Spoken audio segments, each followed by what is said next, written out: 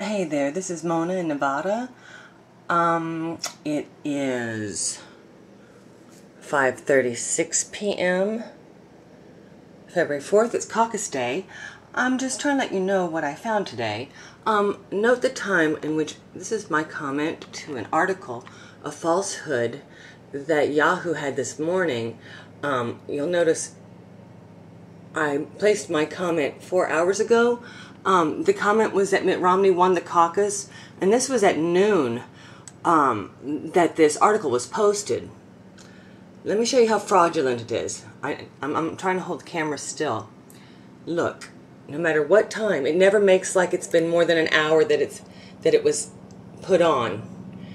Even though you can clearly see my comment was four hours ago, and it says uh, Mitt Romney that he wins in a quiet Nevada caucus like nobody showed up. But meanwhile, um, after I read this, I looked around and saw that the caucuses were packed. Um, and that uh, this is fraudulent because they were making like the delegates were already issued out. Uh, yes, here, right here. I hope you can read this. I'm really trying to be still.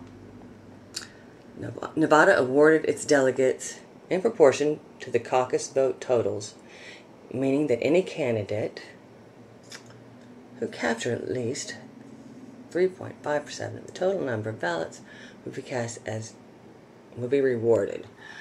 Um, this thing was this written this morning uh, before. First of all, it takes a little while for these little liars here to um, even create an article. And since it was already posted at noon, how could Romney win when there's still seven hours left of caucus?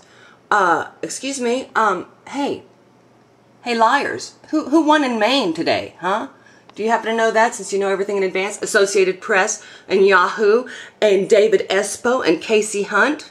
Again, Associated Press and Yahoo. We have you dead to rights. Kasie Hunt, David Espo, creating falsehoods, rigging elections, making like it's already decided. All four of you culprits need to apologize to the public and apologize to all of the candidates because to make like Mitt Romney already won and nobody showed up, uh,